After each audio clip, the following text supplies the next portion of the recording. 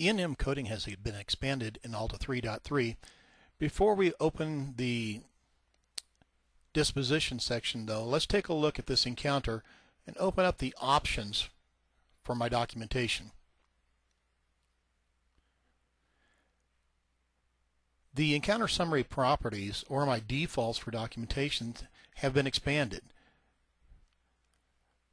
By including things that I want in the AutoCite preferences, these items will also now be included in my calculation for my E&M values.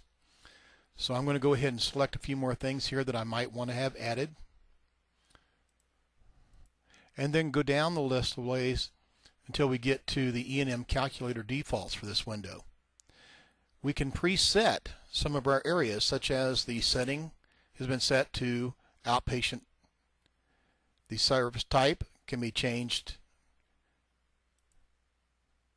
and set as your preferred value and then the exam type can also be changed as well.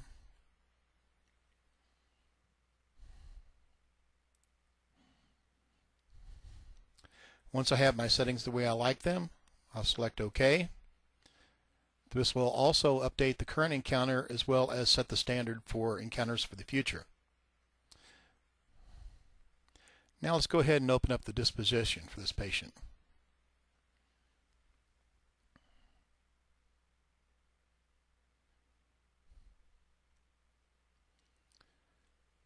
The disposition page in general has not changed for the general layout and the basic items that are here for documenting.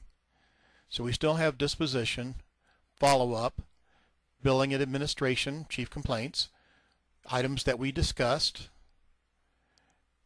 and then down in the bottom section, this is our E&M values. And we still have the calculated and the selection and additional E&M coding categories. We'll notice in the bottom the items that we have documented or the different areas for documentation have been expanded into three areas, history, exam, and medical decision making.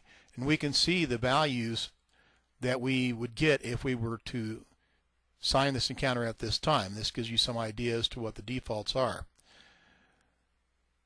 And then this established patient, outpatient, and visit, these items would also pre-populate with the selections that I'd made earlier it is important to note that AHLTA will automatically default the E&M code to 99499 for an outpatient appointment when the provider is non-privileged or when the provider is privileged and the encounter does not meet the visit criteria.